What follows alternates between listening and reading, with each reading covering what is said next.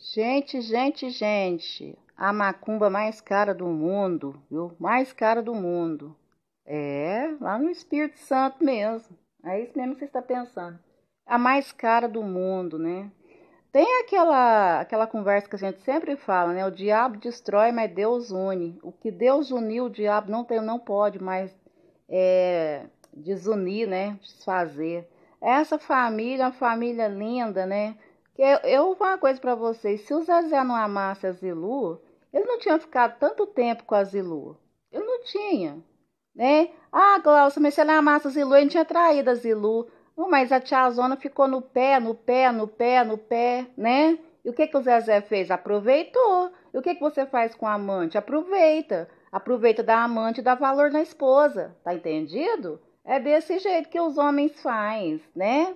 Ele não tinha pretensão de largar da Zilu, porque ele viveu esse tempo todo com essa amante, nunca separou da Zilu, né? E tudo que ela fala é mentira. Ela fala que, ela, que a Zilu sabia, a Zilu não sabia, a Zilu só desconfiava, mas não sabia. Essa amante tem hora que eu fico pensando, ela quer ser a, a, a boazona da história? Minha filha, você não passa de amante, você não passa de destruidora de lar, você não passa do enxereteira, intrometedeira em vida de casal. Você não presta. Essa macumba que ela mandou fazer, renovar, renovar aí, gente, ficou em torno aí de 10 mil reais, viu?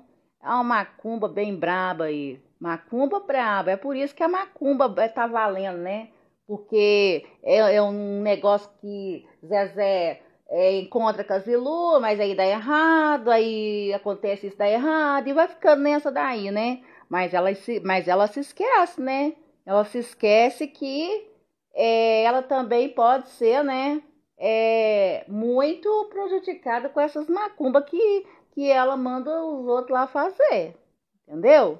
Porque ela paga para os outros fazer. É ela que está botando o alimento na macumba. Essa pessoa paga, né? né? Paga o quê? Ela vai, a metade da macumba é para Graciele, a metade é para o Zezé, entendeu? Então, ela se esquece, ela não tem juízo, ela, ela não, não tem, não sabe de nada, né?